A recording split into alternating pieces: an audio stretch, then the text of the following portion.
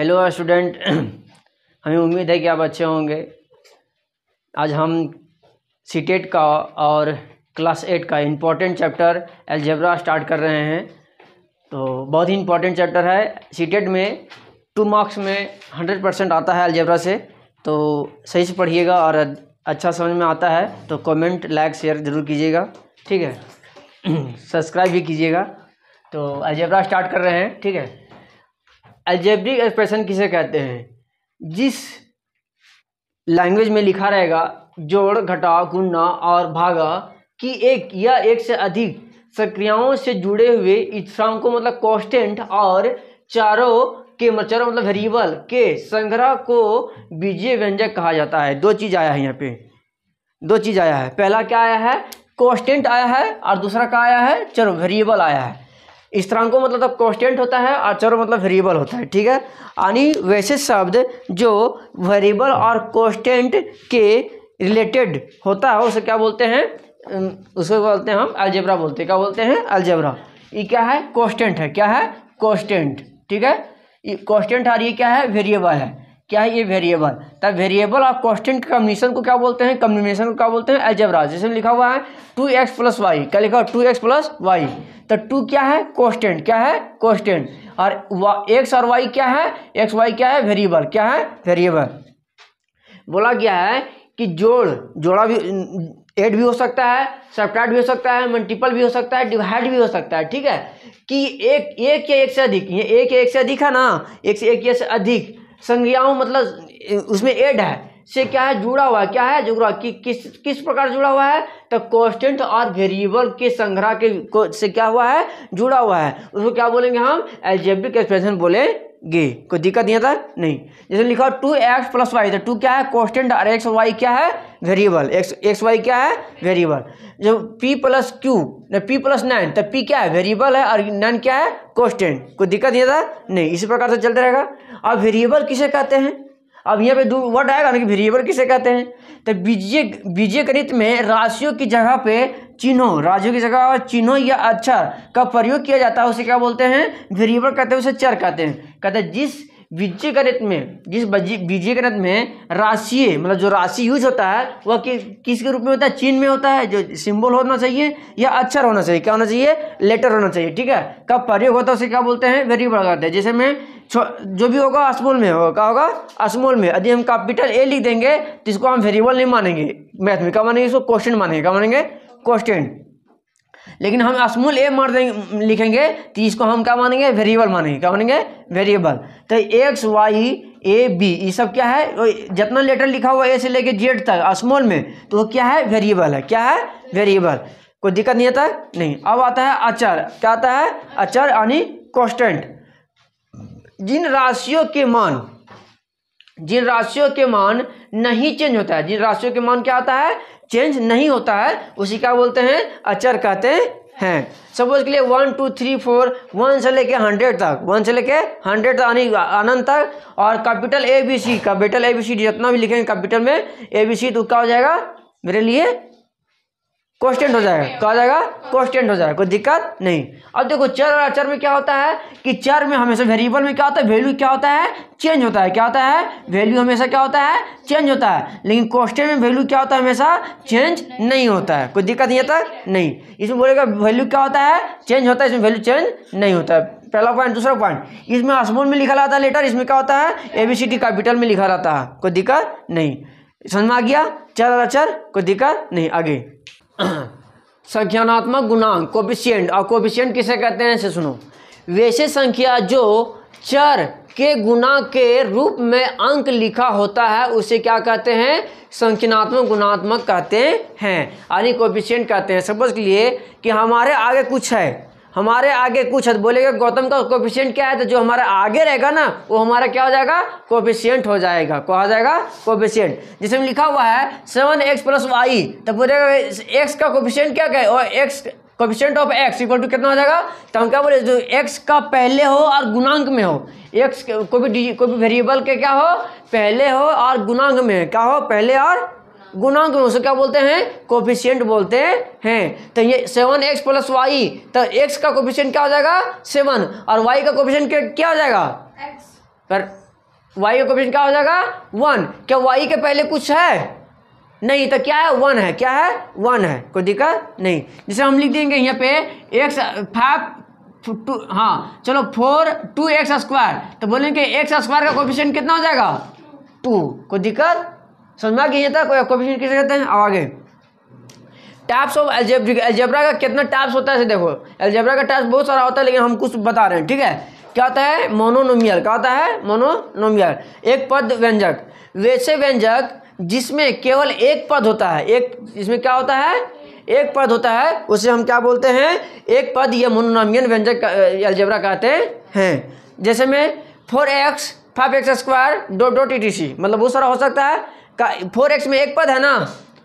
Five x में five x square एक पद है, दो पद तो नहीं है। तो वही बोल रहा है कि वैसे व्यंजक, जिसमें केवल एक पद या एक शब्द होता हो, उसी का बोलते हैं, एक पद व्यंजक कहते हैं। कोई दिक्कत? दूसरा, द्विपद व्यंजक, यानी बानोमियल व्यंजक, बानोमियल अलजबरा।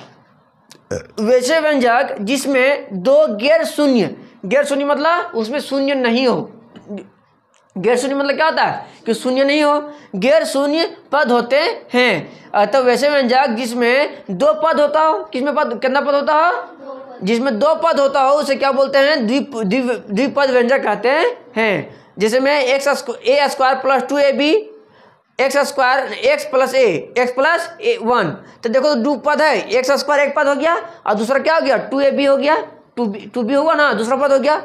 पहला एक्स प्लस वन तो एक्स क्या है? एक पद हो गया और वन क्या है? दो पद हो गया। इसलिए क्या हो जाएगा? द्विपद कहेंगे। कोई दिक्कत नहीं। तीसरा, त्रिपद व्यंजक ट्रेमोनियन एल्जेब्रा वैसे व्यंजक जिसमें जिसमें तीन गैर शून्य पद होते हैं, जिसमें कितना पद होते हैं? तीन पद होते हैं। कितना पद होते हैं? तीन पद होते हैं। उसे क्या बोलते हैं? त्रिपद व्यंजक कहते हैं।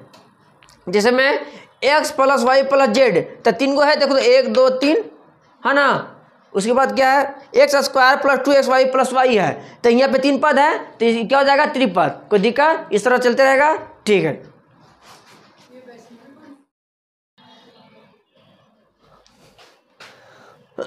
समान पद लाइक टर्म यह एक ऐसी योग होते हैं जिसमें केवल एक संज्ञानात्मक कारक से भिन्न होते हैं। कहता है, समान पद मतलब होता है वैसे वैसे पद जिसमें एक समान हो, जिसमें क्या हो? एक समान हो। उसे क्या बोलते हैं? लाइक टर्म बोलते हैं। दूसरा असमान पद अनलाइक टर्म जिसमें शाब्दिक गुणांक समान नहीं होते हैं तथा जिसमें घात समान नहीं होते हैं। कहता है गुण इसमें क्या होता है? गुणांक सही समान नहीं होते हैं और घात भी समान नहीं होते हैं। उसे क्या बोलते हैं? अनलैक टर्म बोलते हैं। समझ के लिए इसका एग्ज़ाम्पल देखो। लैक का टर्म क्या था? Two x three x seven four four by seven x etc यानी इसमें कहता है कि यह एक ऐसे योग है जिसमें से क्या होता है? सगिन, केवल संज्ञानात्मक हो और केवल एक पद हो। किसमें हो? एक पद हो और एक जैसा हो। एक पद हो और एक जैसा हो। तो देखो तो ये टू एक्स लिखा हुआ है। क्या एक्स के साथ वाई है क्या? नहीं तो ये क्या हो गया? लैक टर्म हो गया। थ्री एक्स एक टर्म ही आ रहा है, जो भी आ रहा है वेरिएबल एक ही आ रहा है तो ये क्या हो जाएगा? लैक टर्म हो जाएगा। इसमें भी फोर बाय सेवन एक्स तो ये क्या लैक टर्म हो गया? दूसरा, असमान पद अनलाइक टर्म जिसमें क्या होता है कि डिफरेंट डिफरेंट टाइप का होता है। डिफरेंट डिफरेंट मतलब डिफरेंट वेरिएबल होता है, ठीक है? जैसे four x plus nine y तो क्या है इसमें दो टो वेरिएबल है? तो अनलैक टर्म हो गया। Two m two m n p देखो तो इसमें तीन गो वेरिएबल हो गया। एन जी इसमें फाइव एक्स वाई इसमें दो वेरिएबल हो गया। तो क्या कि डिफरेंट डिफरेंट आया, लेकिन यहाँ पे फाइव एक्स स्क्वायर आ जाता। तो इसको लैक टर्म बोलते हैं। लेकिन यहाँ फाइव एक्स वाई हो गया तो क्या होगी और लैक टर्म हो गया। कोई दिक्कत नहीं आता नहीं। नंबर लाइन एंड कॉन्सनेंट्स संख्या रेखा और व्यंजक। ये दूसरा पॉइंट है, अगला पॉइंट है, ठीक है? किसी भी व्यंजक को रेखा पर इस प्रकार से दर्शाया जाता है। अब देखो, इसमें दो चीज़ बताएँगे। कोई भी, कोई पर, कोई भी चीज़ को हम, कोई भी चीज़ एल्जेब्रा को हम चाहते हैं कि रेखा में इंडिकेट करें। कोई भी एल्जेब्रा को क्या चाहते हैं हम? रेखा पर लाइन पर इंडिकेट करना चाहते हैं। ठीक है? तो लाइन पर इंडिकेट करने के लिए देखो, जैसे लिखा हुआ है एक्स प्लस फाइव क्या लिखा हुआ है? एक्स प्लस फाइव तो एक्स प्लस फाइव तो एक्स प्लस फाइव को हम लाइन पर इंडिकेट करेंगे। कैसे इंडिकेट करेंगे? देखो सबसे पहले हम लेन खींचे। एक लेन खींचे ना। और लेन लेन खींच दिए। अब इधर क्या होता है? दाई तरफ़ क्या होता है? पॉजिटिव क्या होता है? पॉजिटिव और बाई तरफ़ क्या होता है? नेगेटिव अब बताओ फाइव प्लस एक्स लिखा। फाइव प्लस तो यहाँ से यहाँ तक ज़ीरो हो गया। यहाँ पे मेन पॉइंट ज़ीरो हुआ ना। और एक यूनिट मान लिए पी और दूसरा यूनिट मान लिए हम फाइव एक यूनिट ओ से ज़ीरो से ले ओ से लेके पी तक। एक यूनिट मान लिए और पी से लेके क्यू तक का मान लिए हम फाइव यूनिट मान लिए। कितना मान लिए? Five unit. तो बताओ, जो ओ से पहले क्या है? एक्स पहले कि पहले फाइव है? पहले एक्स है तो हम एक्स को ओ से लेके पी तक एक्स मान लिए, और पी से लेके क्यू तक हम क्या मान लिए? फाइव। तो यहाँ से यहाँ तक टर्म, ओ से लेके क्यू का टर्म क्या हो गया? एक्स प्लस अब कोई भी टर्म ऐड करेगी तो ये दोनों का ऐड कर कोई वैल्यू हम पुट करेंगे एक्स का वैल्यू पुट करेंगे तो इसी के बीच का वैल्यू आएगा। आएगा ना? तो इस, ये, इसलिए इसको लेखा हुआ इंडिकेट किया ना एक zero plus zero plus p zero plus p plus q तो ये ज़ीरो जो है, इसको एड तीनों का एड किए तो एक्स प्लस फाइव निकल गया, कोई दिक्कत नहीं।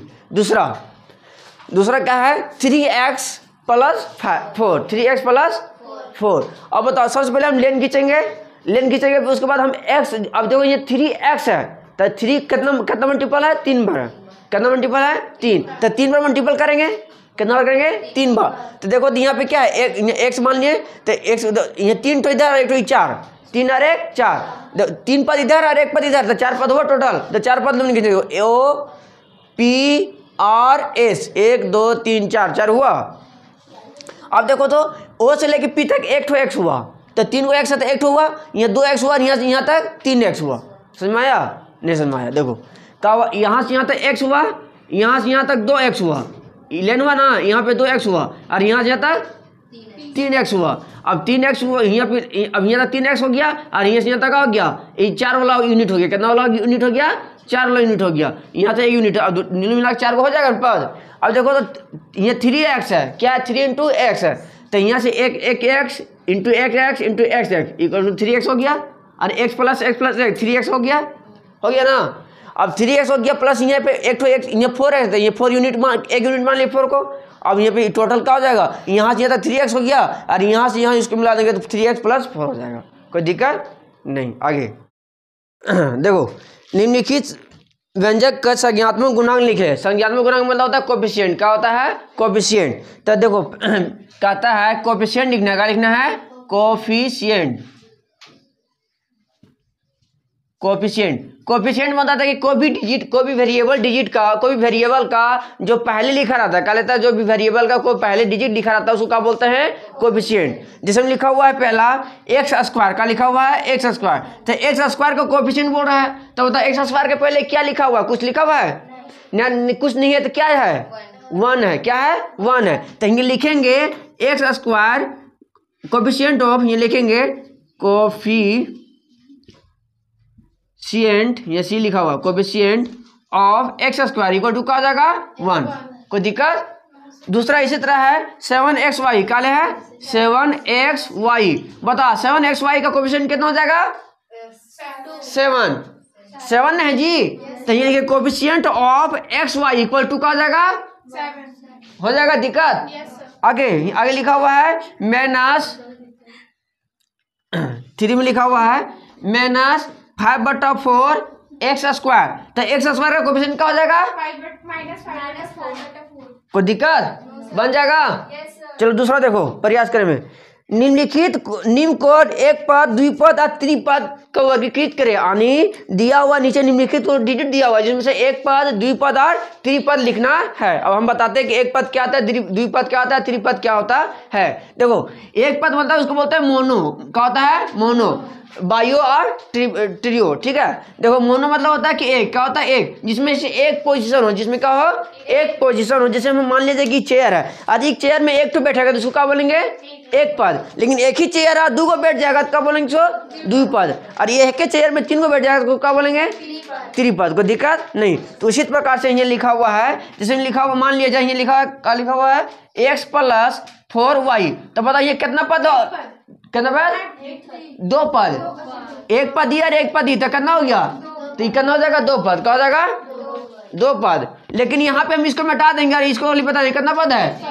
एक पद है। कोई दिक्कत? लेकिन यहाँ लिखते x square plus four x plus four हाँ प्लस वन क्या हो जाएगा इसको? तीन पद। क्यों? तीन को है ना? एक दो तीन। तीन को हो गया इसको क्या बोलेंगे हम? त्रिपद। कोई दिक्कत? बन जाएगा? कोई दिक्कत? दूसरा। निम्नलिखित में से कौन सा पद समान है? आप देखो लाइक और अनलाइक जैसे मैं मेरा ही जैसा कोई लड़का आ जाएगा तो उसको बोलेंगे कि दोनों भाई भाई जो- जोड़वा भाई है तो उसको लाइक लाइक टर्न बोलेंगे। लेकिन मे, मेरा ही जैसा मेरा जैसा नहीं एक तो और आ जाएगा दूसरा उसका रंग मोटा होगा थोड़ा मोटा थोड़ा होगा थोड़ा गोरा होगा मतलब कुछ कुछ होगा तो डिफरेंट होगा। तो उसको क्या बोलेंगे? अनलाइक क्या बोलेंगे? मतलब एक जैसा नहीं दिख रहा है उसको क्या बोलेंगे? अनलाइक तो लाइक मतलब होता है कि एक जैसा दिखना चाहिए अनलाइक मतलब होता है एक जैसा नहीं दिखना चाहिए। कोई दिक्कत नहीं। जैसे में लिखा हुआ है यहाँ पे four x five x by four तो क्या बोलेंगे? एक पद की पद? लाइक की अनलाइक लाइक क्यों? क्योंकि एक जैसा दिख रहा है ना जी यहाँ पे एक्स टू एक्स है ना। लेकिन यहाँ पे यही लिख रहा था five x y five x y by four तक इसको बोलेंगे लाइक अनलाइक अनलाइक क्योंकि यहाँ पे दो ठो आ गया है। इसको बोलेंगे? अनलाइक कोई दिक्कत? बन जाएगा? कोई दिक्कत? नहीं चलो प्रयास करें सी आ जाओ। इन व्यंजकों का संख्या रेखा में निरूपित करे। अब संख्या रेखा में निरूपित करने बोल रहे ठीक है? देखो प्रयास करे सी। मिटा दे इसको? अरे मिटा दे। लिखेगी? लिख लो। बंद करो। देखो कहते, इन व्यंजकों का संख्या रेखा में निरूपित करें। अभी संख्या रेखा बताया था ना? देखो फोर संख्या रेखा में निरूपित करना कहता, लिखा हुआ फाइव एक्स का लिखा हुआ है? फाइव एक्स अब देखो ये आराम से देखो, छोटी। एक लेन खींच लिए। खींच लिए? देखो, अब यहाँ पे हाँ अब यहाँ पे हम ज़ीरो लिख दिए लिख दिए। अब हम इसको डिवाइड करेंगे। बता यहाँ एक्स के पहले कितना डिजिट है? एक। लेकिन क्या नाम उसको? फाइव। फाइव है ना? यानी फाइव मल्टीपल है। कितना मल्टीपल है? फाइव। यानी इसको इस तरह लिख सकते हैं, देखो तो। X plus x plus x x plus x एक, दो, तीन, चार प्लस एक्स तो जोड़ेंगे क्या होगा? पाँच एक्स आएगा ना? कोई दिक्कत? अब देखो मुनि गौर से। तो यहाँ एक यहाँ एक हो गया, ये मान लेंगे ए ये मान लेंगे बी ये मान लेंगे सी है ना? ये मान लेंगे डी ये मान लेंगे ई और ये मान लेंगे एफ़ कोई दिक्कत? अब बता ये ई प्लस में कि माइनस में से पहले बता प्लस में तो रेखा के दाई ओर क्या होगा दाई ओर क्या हो जाता है पॉजिटिव होता है, और बाई ओर क्या होता है नेगेटिव होता है। कोई दिक्कत नहीं आता तो? ये ज़ीरो हो गया तो ज़ीरो के इधर क्या हो जाएगा नेगेटिव है ना? और इधर इधर नेगेटिव और इधर क्या हो जाएगा पॉजिटिव कोई दिक्कत नहीं आता देखो ए बी सी डी लिखा हुआ है ना? अब देखो मुनी, अब ये अब देखो, एक यूनिट को ये पाँच यूनिट पाँच को है तो ये एक ये एक छिपा हुआ है इसके पहले एक छिपा हुआ है? इसके पहले ये एक छिपा हुआ है? ए, छुट्टी, यहाँ देखो, यहाँ, ए हाँ यहाँ से एक यूनिट हुआ, यहाँ से एक यूनिट हुआ, यहाँ से एक यूनिट हुआ, यहाँ से एक यूनिट हुआ, यहाँ से एक यूनिट हुआ। वाले सबके बीच में एक एक यूनिट छिपा हुआ है ना? तो यहाँ से एक यूनिट दो यूनिट तीन, चार, पाँच। कोई दिक्कत? तो यहाँ से यहाँ तक घींच कर जा लिख देंगे हम कल लिख देंगे। फाइव एक्स यानी x x x x x कोई दिक्कत? इजे आंसर पहला हो गया। अब देखो फोर का फोर का ए हुआ फोर का बी लिखा हुआ है x x plus x plus two का लिखा हुआ है एक्स प्लस अब बताए पॉजिटिव या नेगेटिव है पॉजिटिव में देखो, हम लेन खींच दिए। खींचे? देखो, है ना? अब यहाँ पे यहाँ पे यहाँ पे ज़ीरो लिख दिए यहाँ पे माइनस ए ये क्या होगा plus a plus b plus c है ना प्लस डी कोई दिक्कत बाई दाई ओर का होता पॉजिटिव नेगेटिव और बाई ओर? नेगेटिव अब बता मुन यहाँ एक्स लिखा हुआ है अब प्लस टू लिखा हुआ है। तो यहाँ से यहाँ तक एक्स यूनिट हुआ? और यहाँ से यहाँ तक टू हो गया। यहाँ इसको क्या मान क्या मान लेंगे? टू और यहाँ एक्स हो गया। तो दोनों मिला देंगे क्या हो जाएगा x plus two is answer कोई दिक्कत बन जाएगा? चलो बना